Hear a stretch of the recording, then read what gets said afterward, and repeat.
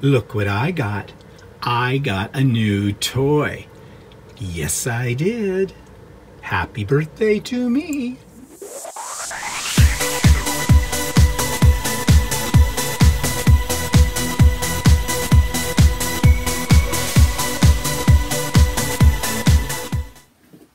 Morning, everybody. It's Steven here for Bland Designs, and welcome to my weekly vlog for July the 13th, 2020.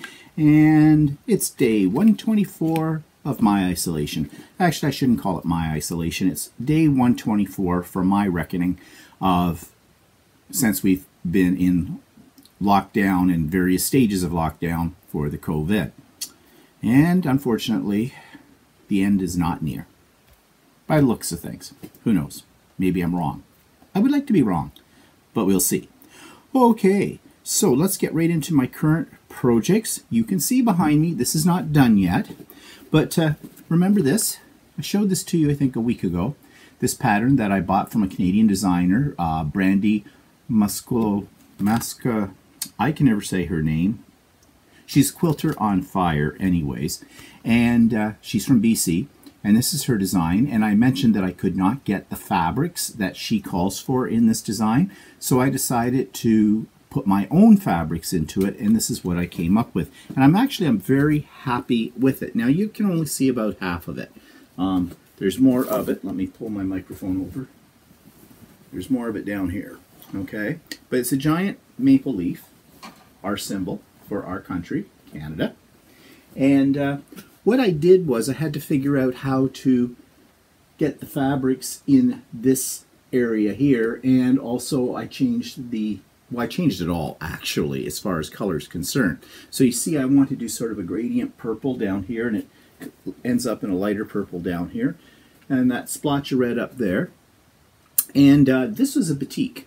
So I didn't have to worry about trying to do it in gradient. It already was. And I thought because of the orangey yellow red tones to it. It's sort of uh, fall-like colors, so I figured it would work.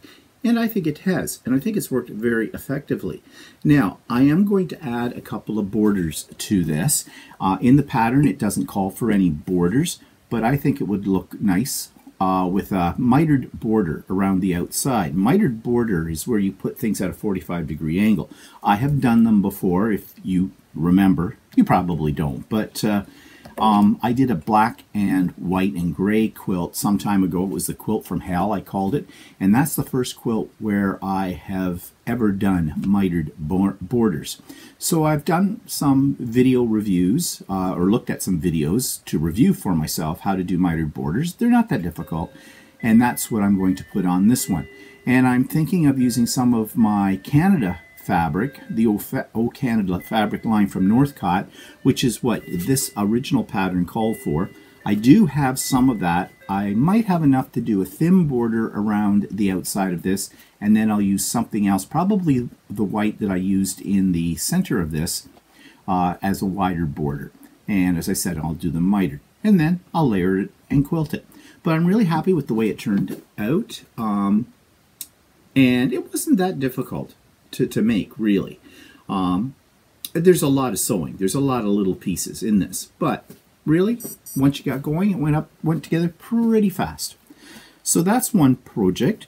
Um, another project I was working on is the July door uh, from Dimes, which is Designs in Machine Embroidery. They have a free door every month, and I don't have it here to show it to you, so just give me one second.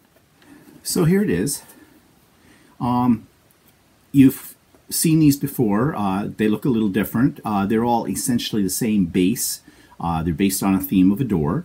Uh, each one of the designs represents a month. This is July, and they've got sort of a surfboard. Um, here in Ontario, we do not surf, uh, but you know it's there, and it's kind of cute.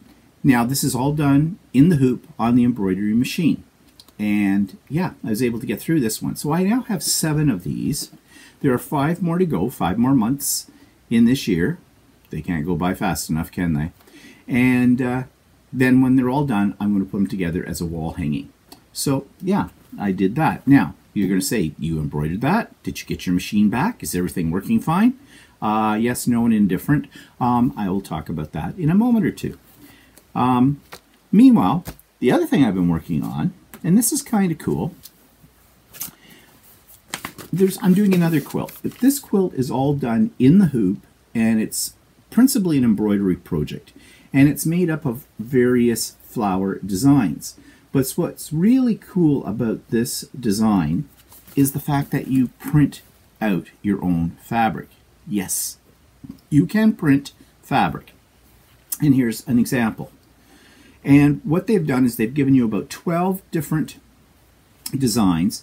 And if you look at them really close, you can see they look like they've been embroidered. And in fact, the original design was embroidered, and then they scanned it, made it into a high resolution graphic, and you can print it out on fabric.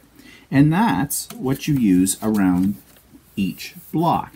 And they do have a concept of a mock-up of what this quote might look like when you're done. And here it is here. Now, of course, mine will look slightly different from this. Um, I don't know if I'll do these white sashings. Maybe I will. That's just a suggestion. And it's going to take some time because right now I'm embroidering the first flower, which is this one, which is actually looks like a kind of a sunflower kind of thing, or I don't know what it is. Uh, but I've had to convert the colors because I'm not sure what colors they're using, what brand of thread. Um, but I converted it to Floriani um, because it came up on my embroidery machine as Janome, which is the default. And I have a little program on my iPhone, it's a little app, that allows you to plug in the number for the Janome thread and give you the equivalent number in the Floriani thread. And I use principally Floriani threads.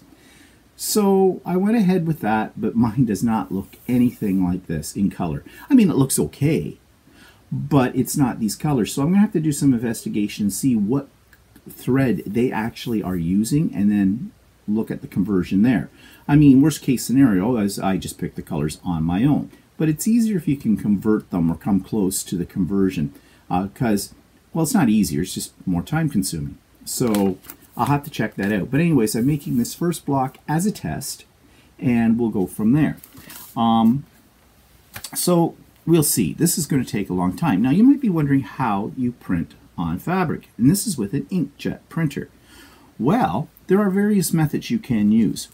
Um, one of the methods is to use what they call TAP, Transfer Artistic Artist Paper, Transfer Artist Paper, which is a great product, but basically it means you have to, well, you can use it and uh, what you have to do is you iron it to the fabric. So in a sense, it's an iron-on, which is fine. But that stuff's really expensive and it's not easy to get. I had about two sheets of it left. Um, so I was at my local quilt store on the weekend, again, by appointment only face masks mandatory, two people in the store at a time. Okay, everything very being very very safe.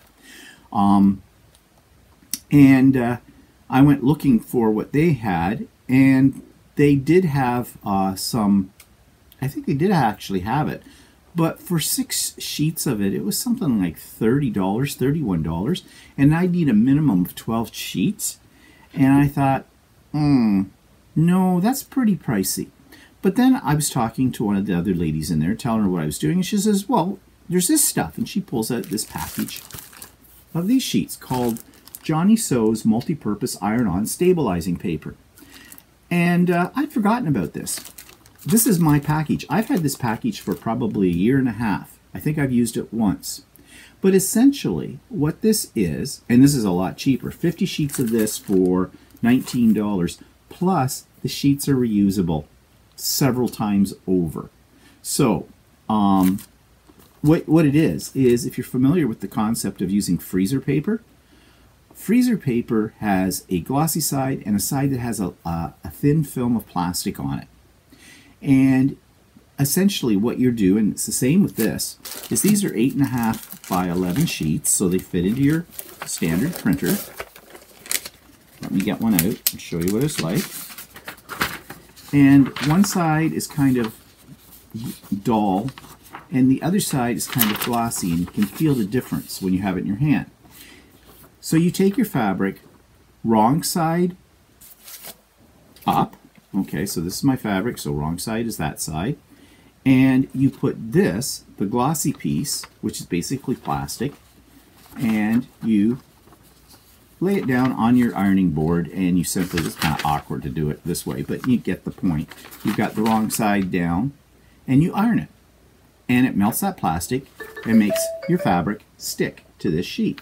Then you take the sheet, you put it through your inkjet printer, and presto bingo, it's printed.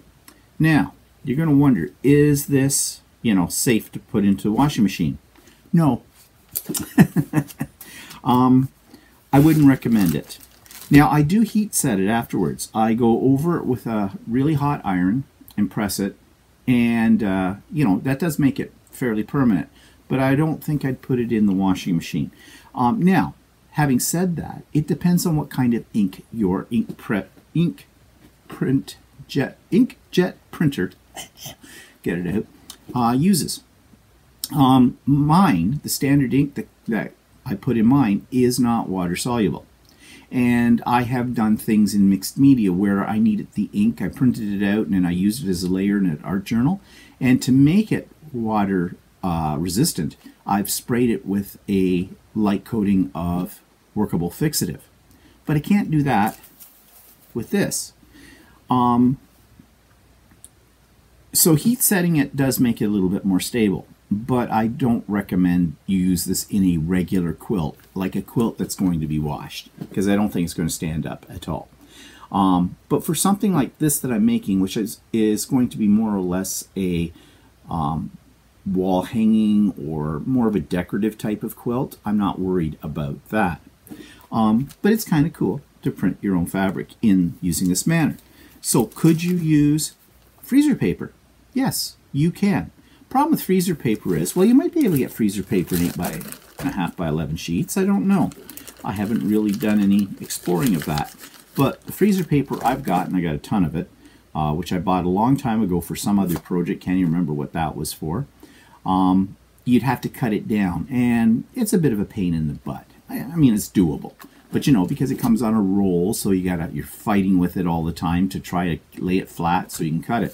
Whereas sheets of this, and for what these cost, I mean, $19 isn't bad for 50 sheets, and as I said, reusable up to a point. Eventually, the plastic on the back just won't bother to melt, there won't be enough of it. But um, I've already printed two using one sheet of this, and I'm going to see how many more I can get out of a sheet. But anyways, so if you're interested, you want to print your own fabric for something, something that's more of an art piece, I would recommend that. Unless your printer has like ink, uh, water resistant ink in it. Okay, so those are the projects I've been up to. Just let me clean my desk out of my way. And that takes us to um, the YouTube channel of the week. Love this guy. He's Canadian. He comes from um, Stratford, Ontario, Canada. And well, here's the review. This week's YouTube channel is entitled Brittlestar. Kind of an unusual name, but this guy is a little bit unusual. If you enjoy my What's Pissing Me Off segment every week in my vlog, you're really going to love this YouTube channel. The star of this, which I'm not sure what his name is, comes from Stratford, Ontario, Canada, so not that far away from me. And I just discovered his YouTube channel. He makes social commentary on the issues of the day in both a humorous but serious light. He's obviously done his research uh, to put each of these segments together, so you will find them informative, but you'll also find them entertaining as well. So, if you want something a little bit different, something that's about social commentary but with a twist, check out Brittlestar. So I've included the link for that YouTube channel in the show notes below. Steven and Walter Live is there as well. We talked yesterday a little bit about the whole thing with people who are refusing to wear masks. In our area, it has become mandatory. And I'm going to say a little bit more about that in a few minutes.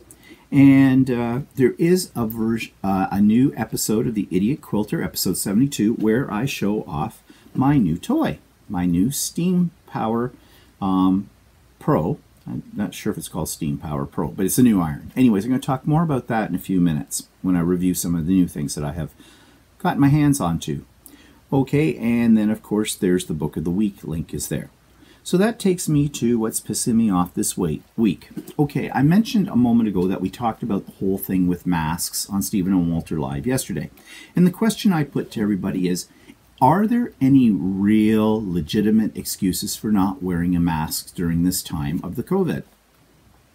Now, what we are hearing is some people say they can't wear it for medical reasons, but nobody is being very specific about what those medical reasons are. Some people are saying they suffer from claustrophobia, and that's why they're not wearing a mask. Well, I understand the claustrophobia part because I am a claustrophobic.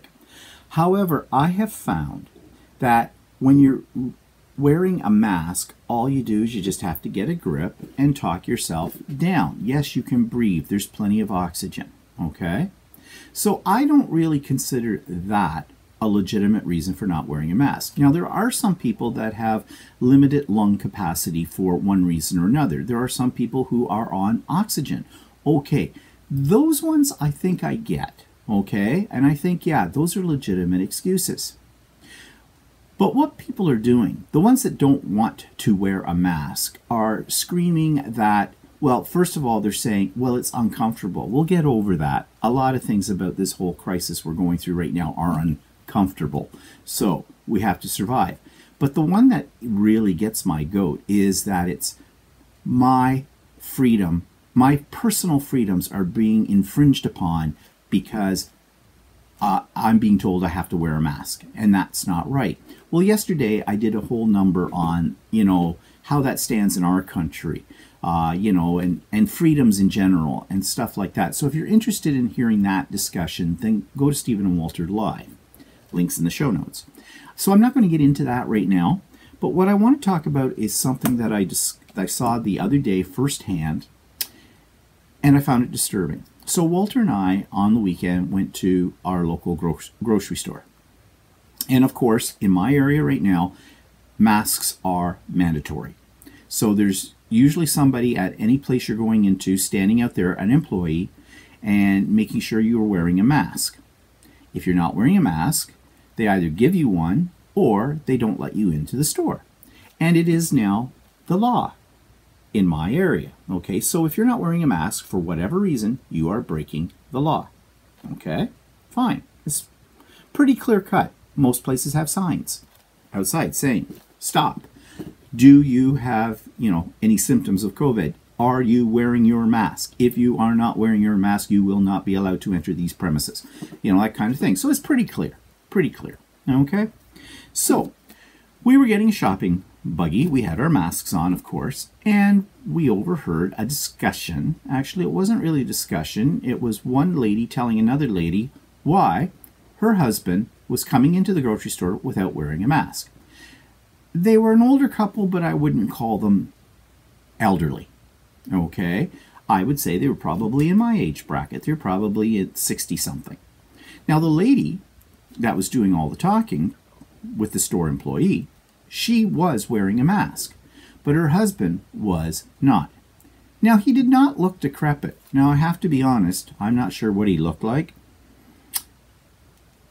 Okay, this is probably bad to say, but you know those videos that they put up about the people of Walmart that are, you know, all over the YouTube? Well, this guy looked like he was a candidate for that, okay? Now, maybe he did have a legitimate health reason, but she was doing all the talking for him. And when I say talking, she was doing all of the yelling about him. And this poor store employee was trying to be reasonable with this lady. She was explaining these are not my rules. These are the rules of the store and of our local government, and I have to abide by them. And I'm an employee of the store. In fact, this lady, the employee, actually said, she says, I have a breathing problem as well, but I have to wear the mask. But this lady wasn't taking taking any of this as a reason. Now, I don't know what her husband's problem was he was remained quiet throughout this discussion. Um, but anyways, the employee did let the lady and her husband into the store. But I thought, well, why was this lady jumping all over the head of this employee? She's just doing her job. I am sure she would rather be doing a lot of other things than playing um, fake cop, standing at the door and going, You got your mask on? You got your mask on? You got your mask on? I mean, what a pain in the butt, really. And it's not her rules. You know, it's not her fault. But this lady is jumping all over her. The thing is, I don't think this woman, from what I could hear of the discussion, I don't think she had a legitimate excuse for why her husband wasn't wearing a mask. Now, how do you know if people do have a legitimate excuse? That's the kicker. It's one person's word against another, isn't it? I mean, I think, I said this yesterday on Steven and Walter Live, I think that people who have a legitimate medical reason for why they cannot wear a face mask should have to show one of these people who are standing at the door of a store a card that explains this, that says, you know, due to medical reasons um, certified by my doctor, I cannot wear a face mask. You know, something like that. They don't have to get into maybe the details of their medical history, but something like that, something that looks official. You know, it's got the doctor's signature, a seal on it, it's laminated, I don't know. Of course, there's all kinds of problems with that kind of system, isn't there? One, you would have to go make an appointment with your doctor in one form or another to get a card like that. Two, will doctors charge to give you a card like that? In our country, our doctors don't charge for much because most of our stuff is covered by our insurance plan. However, there are some things like doctor's notes. If people are away from their work sometimes for an extended period, they need to have a doctor's note, and doctors, I think, charge for that now. Um, so, would there be a charge involved? And what's to say someone couldn't fake the card? Okay? So, you're bringing in a whole lot of bureaucracy to get something like that, and a lot of people won't bother to do that.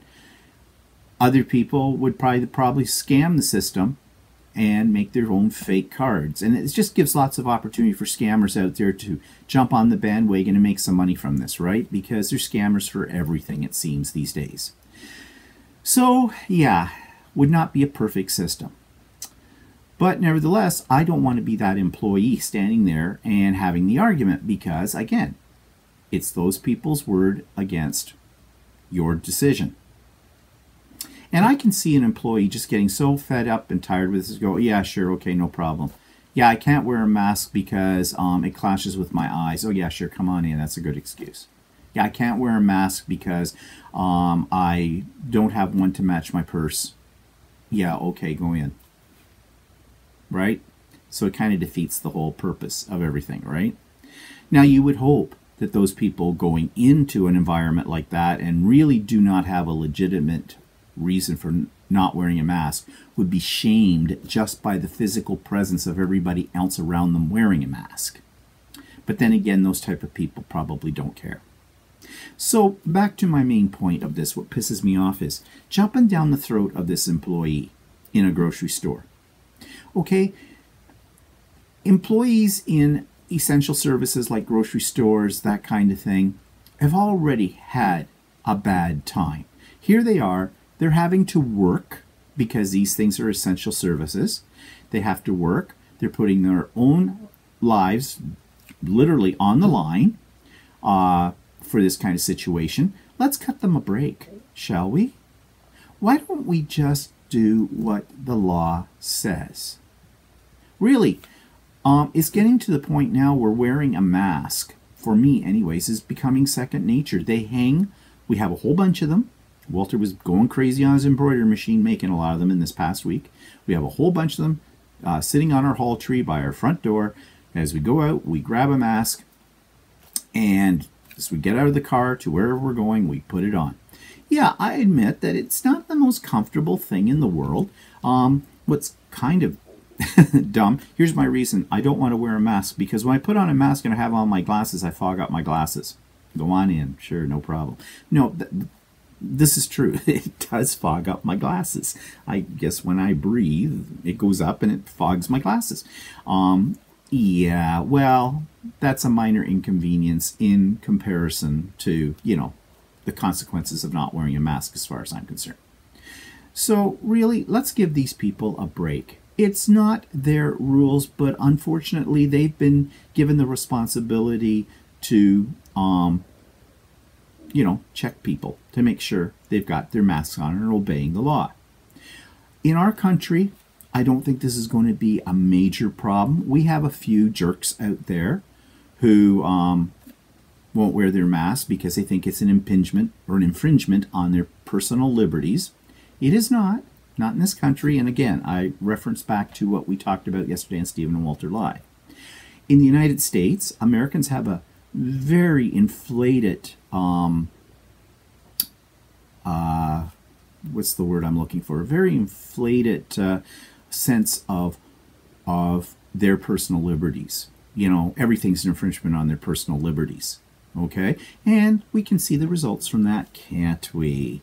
Yes, we just look south of the border, and what's the latest? Like over 15,000 cases in one day in Florida. And of course, they opened up Disney this weekend. Brilliant. Just brilliant. Ah, I'll say no more. Um, I really feel sorry for the Americans who are trying to play by the rules, who are trying to keep other people safe and themselves safe. I feel sorry for them that they live in such a country like that where it's full of a whole lot of yahoos. There, I've said it. But it's true It makes me proud to be a Canadian. It makes me feel safer, too. I mean, we have our Yahoos as well. Just, I don't think as many. But anyways, I digress. Okay. I'm sure somebody's going to write comments to me and consider that, you know, that I've insulted all of America. I don't care. I don't. Um, okay. So, yeah, that's what's pissing me off. So be kind to the people that are just doing their job. It's bad enough and it's rough enough right now in this time that we're going through. So give them a break, for God's sakes. Wear a damn mask. Okay, let's move on to the uh, product reviews. So I did buy a few things online this week. You know, Christmas is just around the corner. well, it's not, but it is. And if you're a quilter and you're making things for Christmas, you got to get started now. And actually, the Christmas lines of fabric come out about now. Um, I was in my quilt store the other day, and they really didn't have much yet, but they're getting it in. But I went online and I went to a spot that I've been to before called thequiltstore.ca, and boy, were they fast. Um, I got all this fabric, fabric I'm about to show you in about 24 hours, like in a day. The next day after I ordered it, I got it. That, I mean, that's incredibly fast. But anyways, that's Amazon fast. In fact, even faster than Amazon these days. So here's what I bought. I'm not going to take them all out. I got them in this basket all folded up. There's two meters of each of these. Um, I am a little disappointed in this selection. I am not disappointed with the company I bought it from. I'm disappointed in what the fabric actually looked like when I got it. I mean, this one's okay, this one's okay, this one's okay. Um, that one's all right. This one, this is actually a Tim Holtz one. Um, show you. But when I saw it online, it looked, it's the same pattern online. It's just the colors are a little bit deeper, I thought, uh, when I saw it online. And, uh, but I mean, it'll work. You, you cut them into little pieces. So, you know, I'm not that disappointed. And again, it has nothing to do with the company.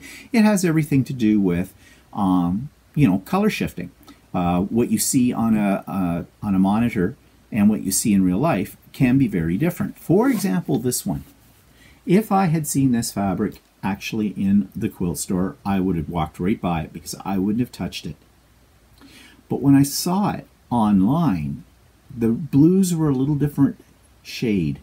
Um, again because of that color shift in the technology. And so I really, it's, it's sort of a gradient, but uh, it looks, quite frankly, a little cheap to me. The fabric isn't cheap. I mean, it's good quality cotton, what you would expect. It's just not what I was expecting. But I have it, and it won't go amiss. I will find something to do with it. It's just not what I was looking for. But I do have fabric left over from last year, but it's in smaller pieces, so I do need to get more fabric. And uh, I'm looking at patterns for Christmas quilts and things like that. I think I made a Christmas quilt last year. I got to look at it. I forget what quilts I've made. Hmm. that's not good. Um, and uh, I've got a couple of patterns that I've pulled out. I actually went through all my pattern collection, and I have a lot of patterns that I've collected, which I'll never get done in this lifetime. Um, but I collect patterns, and uh, I looked online for some more. I'm always looking for freebies in that line, and there's actually quite a few to be found. And I put them all in a binder. I printed them out, put them in a binder, and I'll probably design something that's a combination of several of these patterns or whatever. But first I got to get the fabric for them. So I'm waiting for when my local quilt store gets their supply in, and then I will go down and I will buy um, fabric. Okay, so that, um, what else? Okay, so I got a new toy. Okay, now I think I've mentioned this before about irons. And actually, the idiot quilter that's referenced in the show notes this week is all about irons. Um, and I have quite a few. Okay. Again, you probably will wonder why do you have more than one iron? Well, it's because I do. what can I say? But the iron that I have wanted for a while is one by Rowenta, and it is a steam, I think they call it the Steam Pro or something like that. I forget exactly what the name of it is. But essentially what this is, is the iron sits on top of a big tank. The tank has the water. So instead of having to fill your iron, you know, often, um, my other iron that I was using, it would take about um, a cup of water. And you'd go through that in like no time in steaming. Plus it didn't steam very well. This sucker in the tank takes 1.4 liters of water, heats it up really fast, and the steam is incredible from this iron. So I've taken an excerpt from the Idiot Quilter episode that I've already referenced to show you what this iron is all about. Now this is a little longer excerpt. I think it runs about eight minutes. And if you're not interested in irons at all, just fast forward beyond it. But it is an incredible iron. This way. And there it is. This is the Rowenta um, Perfect Steam iron. It's industrial strength. Uh, this little bad boy holds 1.4 liters of water. This is the tank on the front of it. The iron sits on top of the unit. You plug the unit in. It's all corded here. Oops, I'm sorry, you can't see what I'm talking about. There we go. It is a monster. Yes, is this meant to be transported? No. However, if you have to transport it, it has this little clip at the front. You can now pick the whole thing up using the uh, iron handle itself. I don't recommend doing that too often because this is really, really heavy. But if you have to, like from a table to another table, you can do that. Now, it's heating up. Let me show you what's on the back here. Okay, so you have a series of buttons. And actually, it works very easily. You have an on-off button, and uh, right now my plug is in the way. Okay, give me just a second here. Okay. So the on-off button is down here. Does this have an automatic shut-off? No, it doesn't. And that is something I wish it did have, okay? But I can live without that right now. On the back, it indicates here, you see this flashing green light going on and off. That's for the steam. When that goes solid, you know your iron is ready to go. And you can hear it boiling the water inside. We're bringing it up to temperature. On the side of the iron itself, there's a red indicator light. And when that goes solid, and this goes solid, you know your iron is ready to go in terms of steam. Now it does have a pretty heavy cord here because this is both the water and the electricity running to it. And it isn't humongous, humongous, very long. Find the right words here. Find your words. Um, but for what I'm using it for, I think that's fine. It does have a fairly long cord with it for plugging it in. You only have to plug in one plug for this. It's not two. There isn't a separate one for the iron and one for the reservoir. No. Um, other buttons on here. When it's running out of water, this light will go on here so you know when to fill it up. And it's really easy to fill it up. And I can't take the tank off right now because it's heated up and it says not to do that. But this front part, let me move this around. Oops. yeah, that's me. It's, okay. You heard that was that steam. Um, this tank, this is the tank. There's a little handle here. You lift it straight off. You take it over to your faucet. You fill it up. There's a spot that's marked on the inside that shows you how far to fill it so you don't overfill it. And then it just drops right back down in. It's really easy to, to use. You'll notice I'm putting this little clip on here. This surface that the iron sits on is silicone. It's meant for the high temperature of this iron. So there you go. So this iron does not pop, but that's where you place it. Um, also on the back, there is an econo mode and a reset. The econo mode is used, uh, just saves on power, but it keeps everything, I'm not sure how that works, but it keeps everything working fine so you don't have to wait for it to heat up. You can put it on econo mode and I have it on econo mode right now. There's a restart button and that's what you hit when you refill the tank of water that turns off the light that says that you need it water. And on the side here there's a little knob.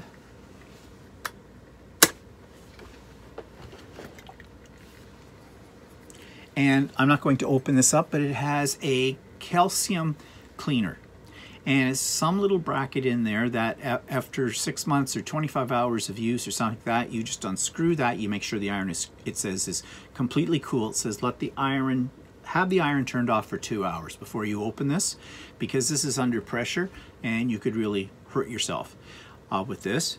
You unscrew it, you take it out, you rinse under a tap, you put it back in, bang, away you go.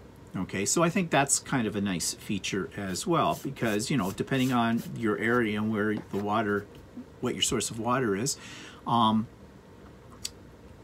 that you may have a calcium buildup problem. So that's basically how it works. It has your standard dial on the top here for setting for whatever fabric you're, you're doing. And there's a trigger under here for blasting things with steam, okay, which is really nice. So I'm going to show you how much steam you get out of this. So let's just unlock that. Um, you don't have to lock and unlock that all the time. That's just uh, if you know when you're not using it or when you want to transport it. Um, so here we go. So yesterday I used it for the first time on some seams and I don't know. Whoa, okay, a lot of steam there. I have this problem and I will get used to this. I have a tendency to hit the trigger when I'm moving this around. That's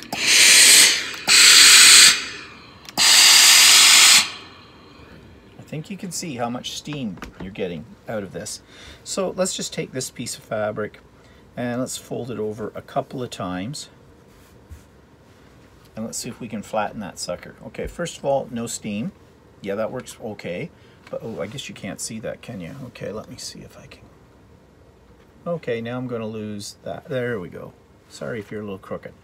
Okay, no steam. flattened it right out.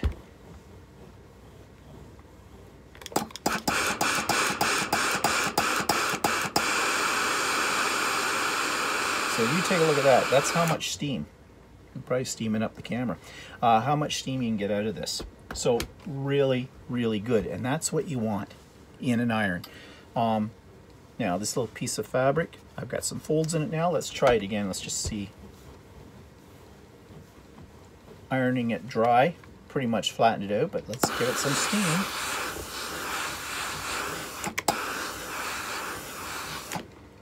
Yes. Just like that.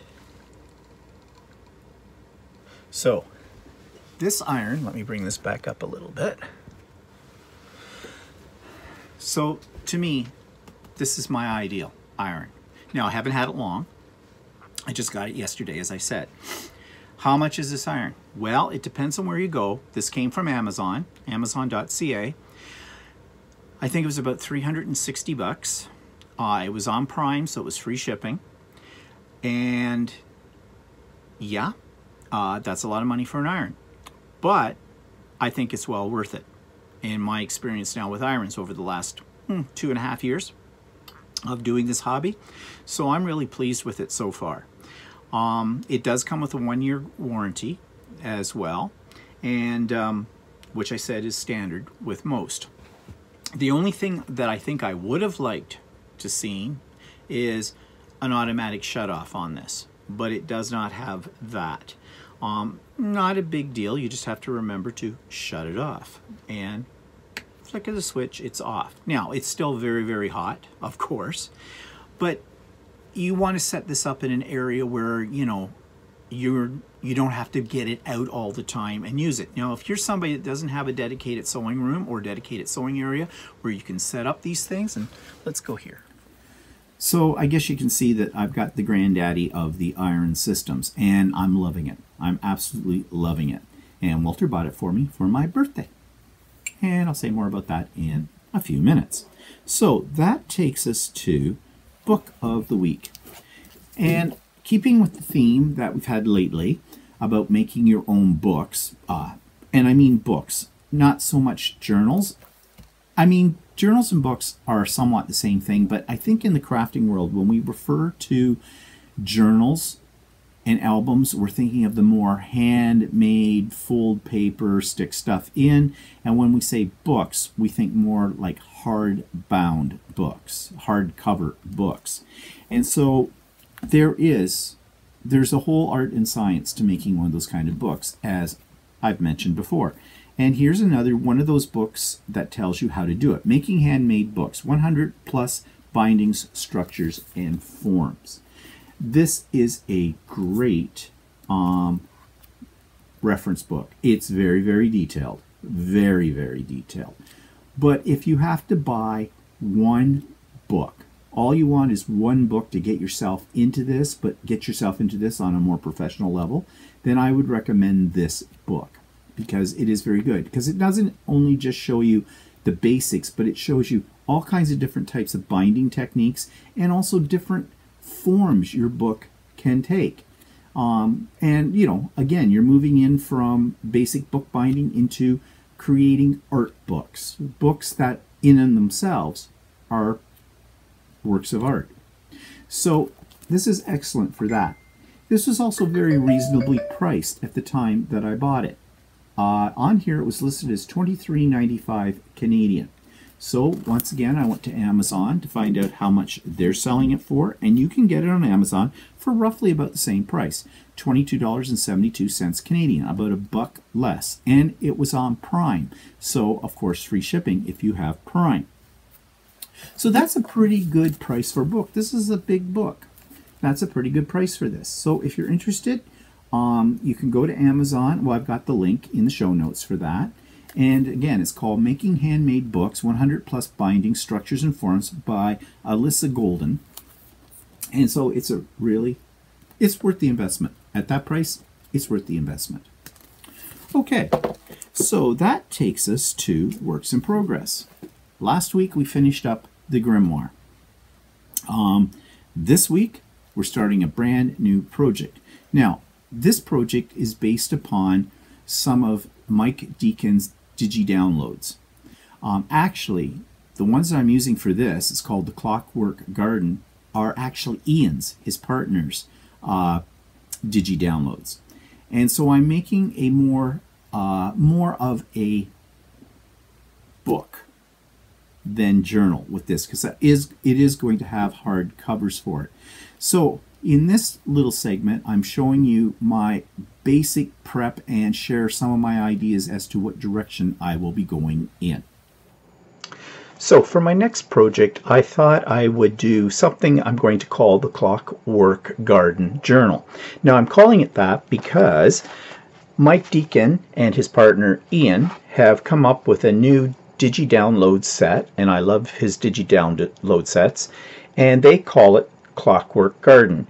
I bought the set and now I'm going to take it and use it to make my journal. Now I'm sort of modeling it after journals that uh, Ian has been making.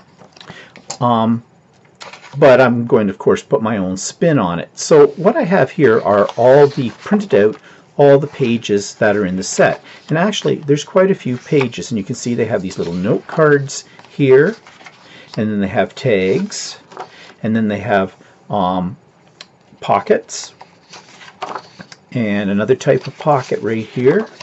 There's quite a few pages in this set, and then these are the actual pages for the signatures in the journal as well. So I printed these all out on cardstock to take a look at what they might look like.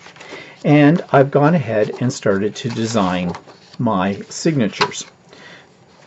And by the way, these are very reasonably priced, and it's a download, so you don't have to wait for them to be mailed to you. They're in PDF format, and I think it was £7.50. It works out in Canadian dollars to about $17, but I think there's 20 pages uh, of elements. So that's really not a bad price at all. And they are high quality uh, resolution, um, high resolution. So I have already made my signatures for this journal and I have them here. Now I printed these on a heavier paper. This is not copy paper. This is actually paper I believe I bought a long time ago in a stationery store for resumes. So it's a little off-white as you can see. And what I did was I took each of the pages that they have designed, that Ian and Mike have designed, and I've made them into my signatures. Now each signature has about five pages, double pages in it, so 10 pages. And um, they're all the same.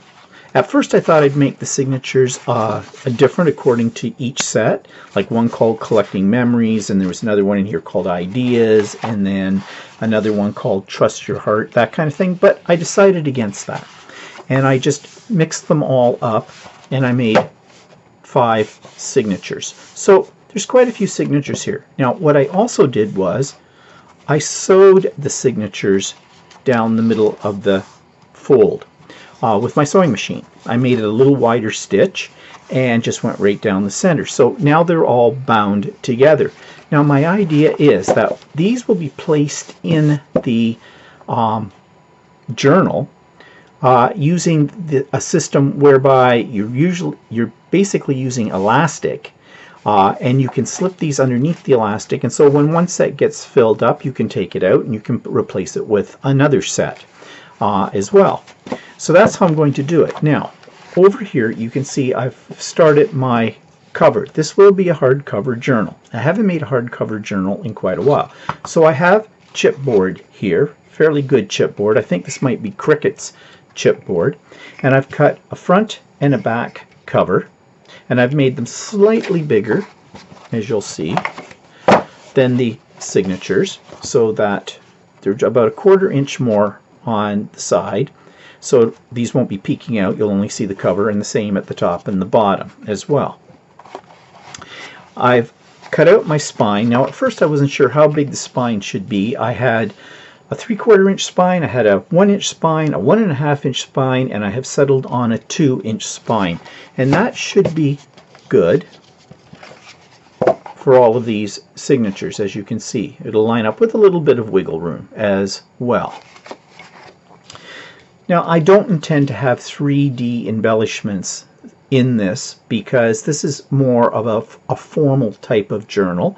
Um, so the beauty of this journal or the decoration of this journal comes with the design that Mike and Ian have designed on each of their pages as well. And I will add some of the tag elements, some of the pocket elements afterwards as well.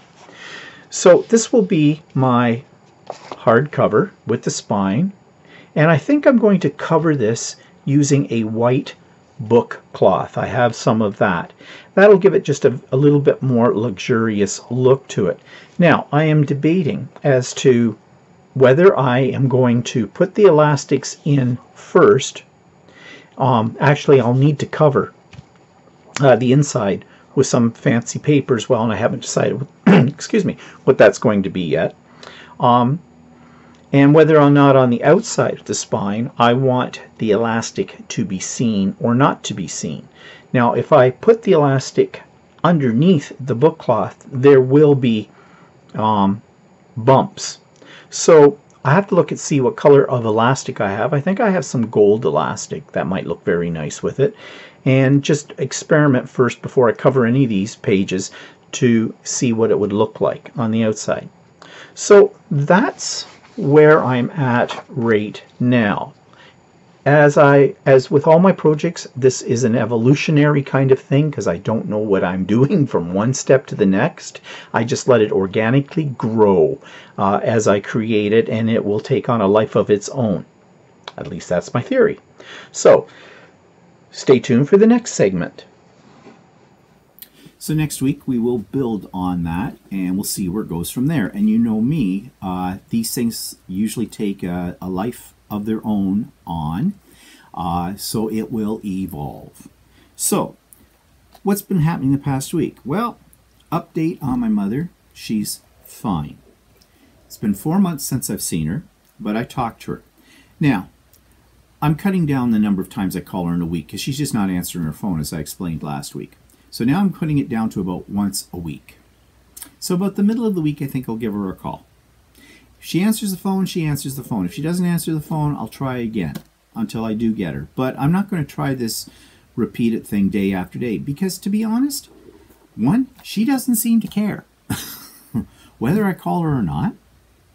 Um, she doesn't seem to really care. She hasn't once said that, you know, she wishes she could see us. She doesn't say that.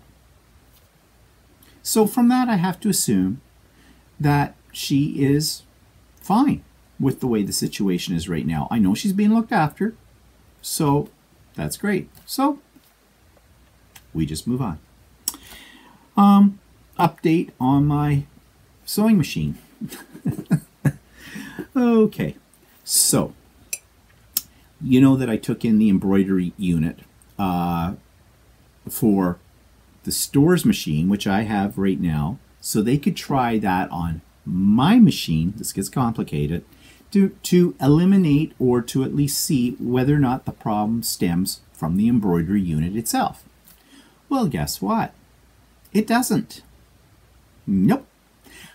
I just got back a few days ago the, my original embroidery unit. I'm still using the stores machine, but I now have my embroidery unit back. And this weekend, I did all kinds of embroidery projects using that didn't have a problem once with any one of the projects. Worked like a charm. Now remember, I'm using the stores machine, but my embroidery unit. So where's my machine?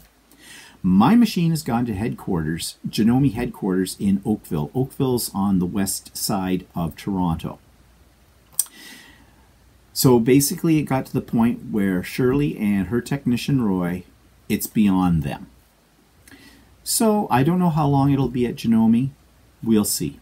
I just hope it gets fixed. In the meantime, I'm using the stores machine with no problems. Knock wood.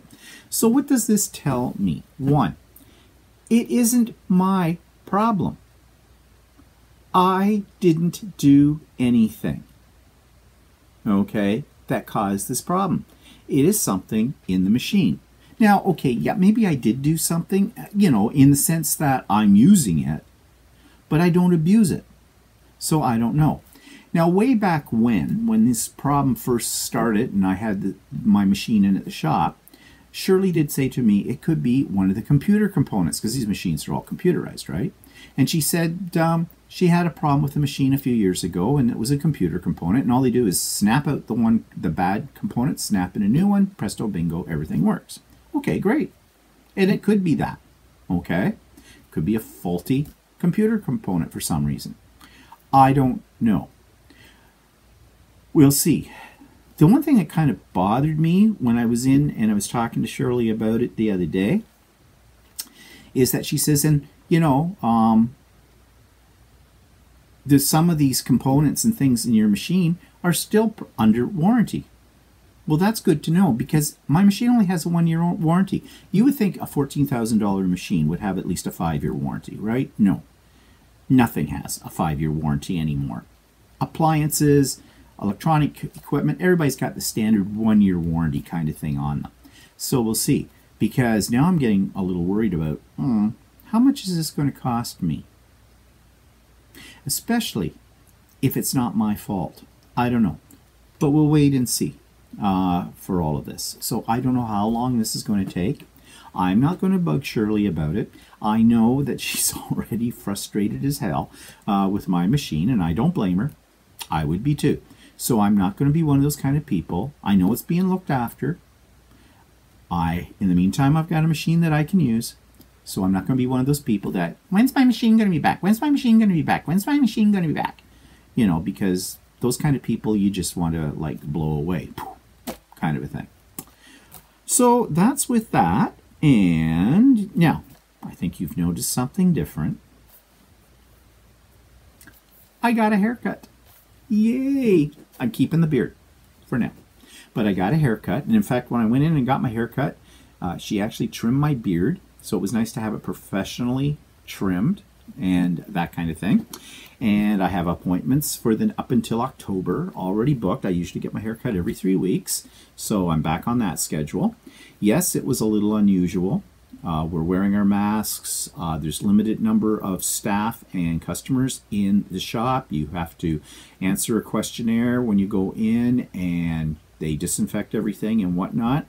Yes, it's very strange, but I got my hair cut. Walter got his cut too. So we look like brand new people. And I'm so glad.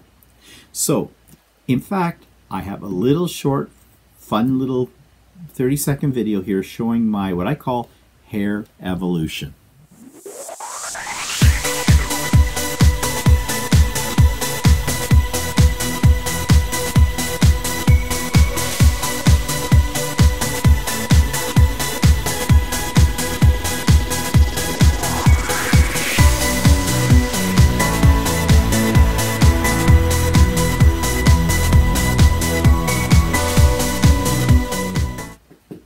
I don't take good pictures of myself, okay? But I just want to show you, I hope you got the sense of like where I've been and where I am now. Okay, and what else happened this week? Well, let's talk about cooking. Walter was experimenting again, so he made lemon chicken one night, which actually I had made lemon chicken chicken from a recipe that I found on the internet at one point in time, which turned out I didn't think too bad. He did a similar one. Um, it wasn't as well. I okay. I'm trying not to say it wasn't as good as mine, uh, because Walter's a better cook than me, anyways, and so I would like to say that and go nah nah nah nah. But uh, it was okay. Actually, what was really good about it was the actual lemon sauce that went on it. I really liked that. The other was edible and everything. It just it was sort of like, yeah, you know, I don't think I'd use that recipe again, kind of a thing. But then he decided to make on, uh, what was it, Saturday or Friday? Maybe it was Friday night. Something. He made cheese balls. Now, you know those cheese sticks you can get in the frozen food section of the grocery store as an appetizer? You know, the, the like, uh, some are stuffed in jalapenos or, uh, you know, basically they're deep fried chunks of cheese, okay? Like real healthy, not, but delicious, yes. Um, so he found a recipe and decided to make them himself. They were much lighter than the ones you buy in the grocery store. He did deep fry them.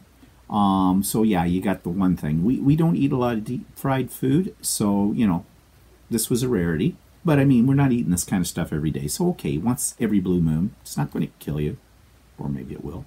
Um, but they were really good. So I thought I'd show you what Walter's balls look like. Cheese balls, I'm talking about. So, what's Walter cooking this week? Walter made homemade cheese balls. And apparently, they're very easy mm-hmm. and delicious. They're very light. So, what's in your cheese balls? Flour and cheese and pepper and cayenne pepper and that's about it. And you said you made first a type of roux with flour and water. Mm-hmm. And then you mix that in with your cheese and then you mm-hmm. guess your spices. And then you, what? Uh, Refrigerate it. Oh. How and then you just um, It's supposed to be for an hour refrigerator, but I didn't, I, my cheese was cold, so I. And then you um, just roll them in balls and throw them in the deep fryer. So, It is a deep fried thing, though. So these are Walter's cheesy cheese balls. So I think that one, that recipe is a keeper. And according to Walter, it was pretty easy to make. Um, and if you're interested, I think he got that recipe from a YouTube video that's called uh, Cooking with John. I think that's what it's called. Um, and that guy, Walter's done several of his recipes, uh, and they're actually pretty good. He, he's it, his videos, I guess, are pretty clear. The instructions are pretty clear, and the ingredients are not like way out there. They're usually stuff you've got laying around. So you know, um, just do a search for Cooking with John. I think that's what it's called, um, and you'll find that recipe that Walter did with the cheese balls and a whole bunch of other ones there that you might be interested in. Okay, so what's coming up? My birthday. It's my birthday. It's my birthday. Woo, big deal. Um, at my age, do you really care about your birthday? Yeah, actually, I do. Okay. My birthday was always something I looked forward to when I was a kid. Um, and my birthday's tomorrow, July the 14th. And yes, thank you, thank you, thank you, thank you, thank you. I know you're all saying happy birthday. Thank you, thank you, thank you. Um, a little strange this year because one, what we've done the last couple of years is on the weekend before or right after my birthday, we go to a place uh, that's about an hour and a half, two hours away from us, an area of Ontario. It's on the other side of Toronto. And uh, it's basically Mennonite country. And there's all kinds of quilt shops within like a mm, 50 kilometer radius kind of a thing. And we make the circuit, as I call it. And I go nuts. I put aside money for this event every year, so I and I will drop $1,500 on fabric. Okay? And um, we go for the weekend. Usually we have tickets to go to uh, a play in Stratford, Ontario.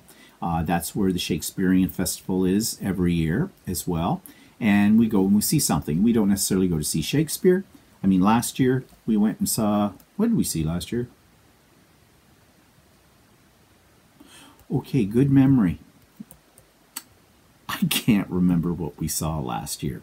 This year we had tickets to see Spamalot. You know, Monty Python's Spamalot. But of course, with COVID, hmm, not going to happen. That's all shut down. We did get our money back, no problem, from that uh, place. Um, so, you know, uh, that was good. But that's what we do. And of course, we go out. We're there for, we usually go for three days, kind of a thing. And it's a nice area to travel around in. It's very country-ish and lots of neat little stores and shops, plus the quilting places. Well, not doing that this year. So, and usually Walter, you know, takes me out for dinner, kind of a deal. Last year we went to the Keg in um, Kitchener-Waterloo. That's the area, um, which was very nice.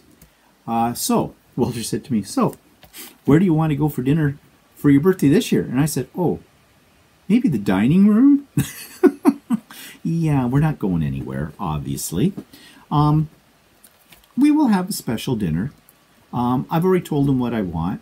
Um, basically Chateaubriand uh, kind of thing. What's Chateaubriand, you may say? It's basically filet mignon and fancy vegetables with artichoke hearts in those with amongst those vegetables. Um, actually, it's something that is extremely overpriced in a restaurant. It's just a good piece of meat, okay, with vegetables more than anything. But that's what I want. And we have some good pieces of meat, and Walter will do them with the sous vide, so they'll come out perfect. And uh, I bought a can of artichokes, and we'll have maybe get some other vegetables or whatever, and we will do Chateaubriand with a nice bottle of Beaujolais. And we do have a nice bottle of Beaujolais sitting in, upstairs in the wine fridge. Um, and that'll be my birthday. Um, I wonder if I can talk him into making me a cake or something as well. I mean, Walter makes really good pastry. So, a birthday pie.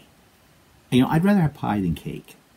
Okay? But he's got some recipes he hasn't done in a long time uh, for, you know, I'll have to talk to him, see what he's got in mind uh, with this. But anyways, that'll be my birthday. Um, and as I said, you know, birthdays you get to this age. How old am I? Are you going to ask? Well, I'm holding on 29 now for about the oh, let's see. Well, I'm 63. I'll be 63. I'm 62 today. Okay, I'm still 62. 63. How did that happen? Really? I, I feel like I'm 23. I, I really do. I say this to people all the time. I feel like I'm 23 years old. And I guess that's because I have my health. I'm mobile. I can get around. Um, yeah, I've slowed down a little bit over the years since, you know, I'm not moving at the speed I used to move at at 23, but I'm good. So, you know, thank whoever for that one. Um, so, you know, I suppose you should look at it as a milestone. You know, there was a day and an age, if someone was 63 years old, they were probably dead in times gone by. So, here we go. And, you know, every day's a new adventure as far as I'm concerned. So, you know, keep that up in my mind. And, you know, the next 63 years will probably be a little harder, but we'll get through those. Okay, yeah. Um, so, what else is coming up? Well, one thing I just forgot to mention to you that already happened is, you know the river cruise thing? We got 50% of our money back. Finally. Yes. We got almost $10,000 back from the cruise company itself. It took a long time, but we got that part of it. Now, mind you, they were pretty much obligated to give that to us because that's part of the contract. We canceled the cruise, and you know all the ifs, ands, and buts around all of that. And so that was in the contract that if we canceled the cruise by a certain date, we would get 50% of our money back. So they came through with it, we got it. Makes us very happy. Now we're fighting with the insurance company for the other 50%. And I already explained all that to you a few weeks ago. We haven't heard anything more from them yet, but these things take time, so we're just going to be patient and wait a little bit longer, and then maybe we will contact them. Again, we're not going to let that just die. No, because that's another $10,000. All right? So, no, no, we're not made of money. So, yeah. But anyways, that was really a nice surprise this week that we got it because really we weren't expecting to get anything back from them until the earliest, not until into August. So, yeah, that was a good thing. Okay, so what are we doing today? Oh, excitement. Yay, we're going out. Where are we going? To IKEA. Yes, we're going to IKEA. Are we going into IKEA? No, we're doing curbside pickup. Walter bought himself a new toy last weekend. He bought a cover stitch machine. Um, essentially, a cover stitch machine is a machine that does nothing but hem. And since he's into garment making these days, he thought it was worth the investment. So he got one. He got it for a good price at our quilt store. And so now he's got an embroidery machine, a sewing machine, a serger, and a cover stitch machine. Things are piling up. He needs more space. So he has figured out a way to reorganize and declutter uh, his office. Okay, his office is basically one of our bedrooms in the house, and it's not a huge bedroom. And uh, he needs another table. So he's ordered online uh, a table uh, from IKEA, and we were to go there today, and between 12 and 2, uh, do curbside pickup for this. So we'll see how this works with them because uh, IKEA we have not been in too impressed with on how they've been handling things during this COVID. At least the IKEA is in our province. Um, for example, Walter could have had it delivered for 60 bucks. And really, because this thing is heavy, you know how everything comes in a little box and you got some assembly required with them. Well, those little boxes are heavy and whatnot. And so for 60 bucks, he figured that'd be okay. Well, yeah, he could get delivered. It wouldn't come until September the 1st. Really? You're that busy? Okay. So, nope, that wasn't an option. Um, we could go actually into the store itself, but IKEAs are always busy. It doesn't matter what day of the week you go to; they're always busy, and I just don't want to take a chance. And these in this IKEA, the two IKEAs that we have closest to us are located in Toronto, and Toronto's the epicenter for the disease right now. We just don't want to take the chance. So when he first looked at curbside, they said they had nothing available for weeks on end. Then he went on again the next day to check it. Bang, yeah, we could pick it up on uh, Monday, today between 12 and 2. So he made the arrangements. So we'll see how well this goes. It's really going to piss us off if we get there and they have screwed this up in one form or another. So this will be the test for that. Okay, so that's what's coming up. All right, so just before I say goodbye to you for this week, I just want to say one other thing. Things are opening up here in our country and in our province. I'm not even going to talk about the states because that's just a shitstorm going on in there right now. And I really feel sorry for, you know, the average American, the average American that has some common sense. Okay. And I hope that we as Canadians, with things opening up a little with restrictions right now, don't become complacent about the whole thing. Meaning, wear your mask, take all the precautions. They're warning us as there's going to be a second wave. And they figure the second wave, they don't want the second wave to be worse than what the first wave has been. But they're saying if we if we let down our guard, if we don't handle things the way we should be handling them, if we get a false sense of security and safety, then the second wave is going to be even worse. And so everything we've done up to this point in time will be moot. So let's not become complacent about what is happening. Let's keep the rules now so that eventually we can come out on the good side of all of this. So, having said that, wear your mask, keep your social distancing, don't be partying with thousands of people you don't know. Stay healthy, stay well, stay in, and we'll see you next week. Bye bye.